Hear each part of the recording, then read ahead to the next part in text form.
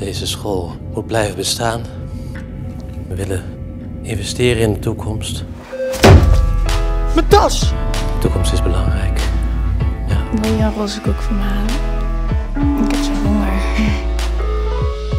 Tuurlijk.